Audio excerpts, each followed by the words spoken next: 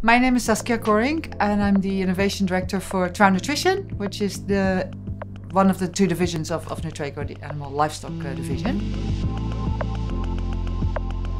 The Nutreco Feed Tech Challenge is important um, because we, uh, as a company, we uh, want to feed the future. And in order to feed the future, we constantly keep looking for new technologies, new science that we can bring to markets.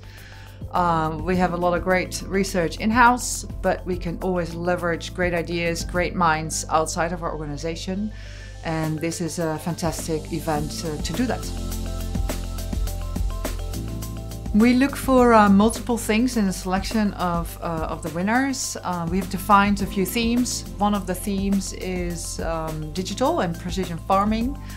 Um, and that's a very interesting theme because you can imagine that if you use data and digital tools uh, on farm, we are much more able to then provide the farmer with very specific advice, not only on how to manage the farm, which will increase the efficiency of the farm, but also what type of feed to use. Um, yeah, make it much more precise. Um, that doesn't only increase the efficiency of the farm, but can also help the farmer to uh, reduce costs, for instance.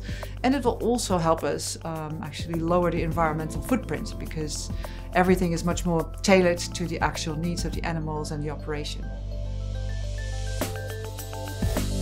What separates a great idea from breakthrough innovation is uh, multiple elements, but I generally look at, look at three things. Uh, one, one would be desirability. So, is there a customer that actually wants this? Does the idea or the innovation uh, address a pain, a need that customers have?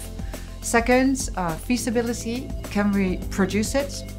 Can we make it? Or does it remain a prototype, which is not good enough? It cannot go to market that way. And lastly, viability. Um, is the customer going to pay for it so that, you know, the company, us in this case, also makes a little bit of money with it?